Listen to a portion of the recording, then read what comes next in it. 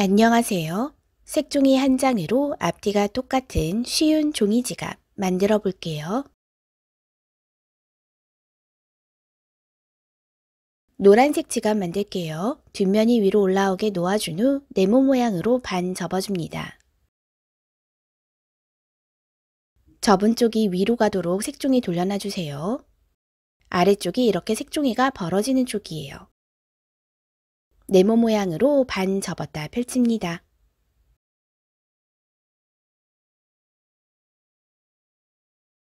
대문 접기 할게요. 가운데 선에 맞추어 오른쪽 색종이 접어줍니다. 왼쪽 색종이도 가운데 선에 맞추어 접어주세요.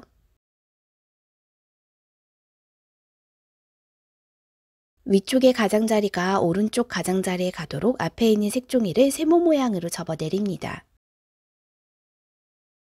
반대쪽도 같은 방법으로 앞에 있는 색종이만 세모 모양으로 접어 내립니다.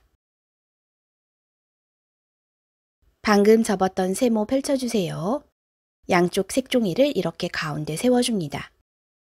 색종이 사이에 손가락을 끝까지 넣어 주머니처럼 만든 후 세모 모양으로 납작하게 눌러줍니다. 반대쪽도 같은 방법이에요. 색종이 사이에 손가락 넣어 벌린 후 납작하게 눌러주세요. 뒤집어 줍니다.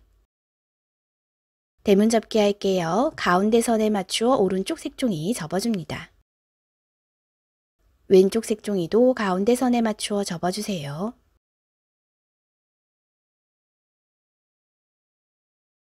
아래쪽 부분을 조금만 접어줍니다.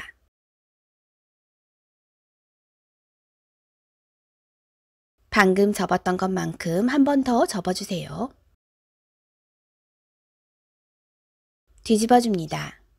같은 방법으로 접어줄게요. 아래쪽 부분을 조금만 접어줍니다.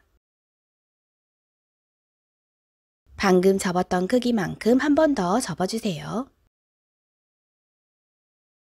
그러면 종이지갑 완성이에요.